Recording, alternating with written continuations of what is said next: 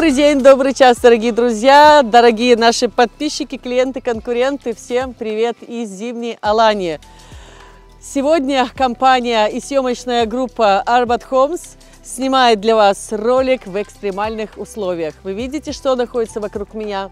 Снег. И он падает мне на голову. 20 лет снег не видела, нисколько не соскучилась, но хочу сегодня вас порадовать вот этой снежной Алании. Алания настолько многогранна и теплая, и холодная. Мы, конечно же, находимся не в центре.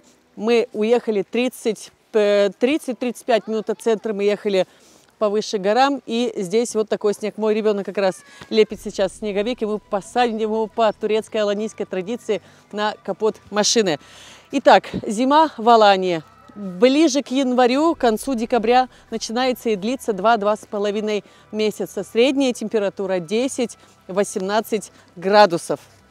Большинство из вас, э, для большинства из вас зима это много-много зимней одежды, зимние сапоги какие-то с начесом, штаны, кофты, пуховики, шубы, шарфы, шапки. Все это много-много-много нужно на себя одевать. А сколько же нужно места, чтобы все это хранить дома? А сколько же нужно денег, чтобы все это покупать? Поэтому в Аланию, когда вы приезжаете, шкафы не нужны. Деньги вы потратите на прекрасный отдых и досуг, который вы должны потратить на эту зимнюю одежду, потому что плюс 18 вы будете ходить в тоненьких дутиках.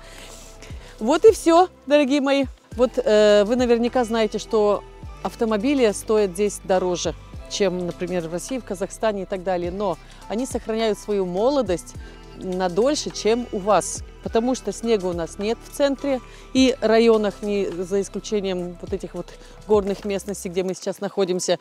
И, соответственно, слякоти грязи на дорогах нет, нет, ничем не, не, не посыпают дороги. И, соответственно, ничего не ржавеет и сохраняется дольше. Следующий пункт зимы в Алании – это, конечно же, богатый выбор экологически чистых овощей и фруктов. Ввиду мягких климатических условий все это растет, оно все э, не опрысканное, без э, химикатов. Люди приезжают сюда за здоровьем, местное население на зимовку также приезжает сюда. Измир, Стамбул, Анкара едут сюда опять, потому что здесь теплее, потому что здесь вкуснее. Какая же она многогранная, наша Алания.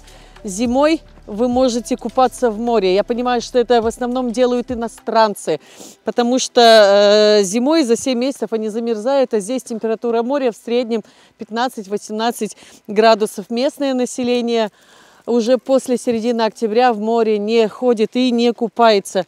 Если вас же вашим деткам хочется каких-то интересных развлечений, вы можете за полчаса подняться в горы и поиграть вот так вот в снежки.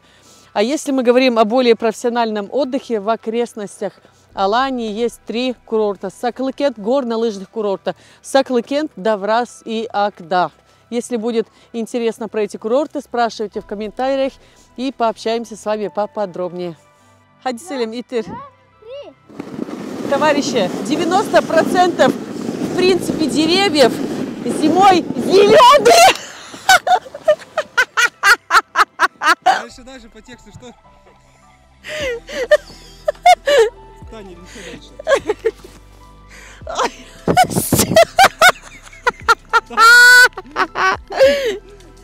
Помогаем.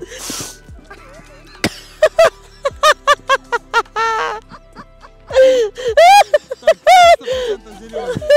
Вообще холодно. Селим, Selim dur. кадр. Hayır kuzum bir video yapıyoruz.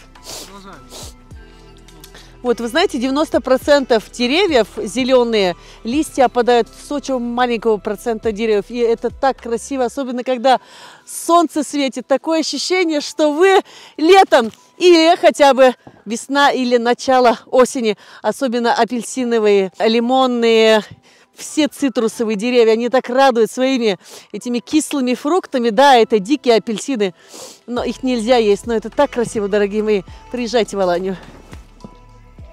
Зима – это время греться в саунах и хамамах. Это есть в новых комплексах э, в инфраструктуре. Если нет, то вы можете ходить в какие-то э, спа-центры, где также можете погреться в сауне и хамаме. В каждом районе это имеется. Э, На самом деле зима не, не такая людная в Алании, потому что большинство туристов приезжают сюда на аренду, только их малая часть. Большинство отелей открыты, и те, кто желают здесь позимовать, э, уже по меньшей стоимости арендуют квартир. И квартир на аренду больше, выбора больше. Везде пишут, блогеры пишут, что зима здесь холодная. Я напоминаю, что это только два с половиной месяца, даже не три, что в квартирах холоднее, чем на улице. Вот вы у себя, например, в России или в Украине, в квартире своей не живете, и у вас э, вы выключаете батареи, нет отопления. Соответственно, квартира будет также в квартирах будет также холодно. Я согласна, что здесь в постройках, в домах стены тоньше, потому что нет таких суровых морозов, минус 20, минус 30. Чем можно отапливаться в домах? Конечно же, самый популярный способ – это кондиционеры. Вот у меня, например, квартира э, большая, и ненужные комнаты я закрываю, включаю на полную мощность 27 градусов. Когда прохладно, как в последнюю неделю, у меня кондиционер работает сутки. И я измеряла температуру 25 градусов. Можно, конечно, пользоваться электрическими печками, э, гранитными панелями, но все это уже, я знаю по своему опыту, стоит дороже. Внимание, приезжающий сюда зимовать. И если солнышко зимой, оно очень-очень обманчивое. Нужно одеваться потеплее, хотя бы куртки или ветровки.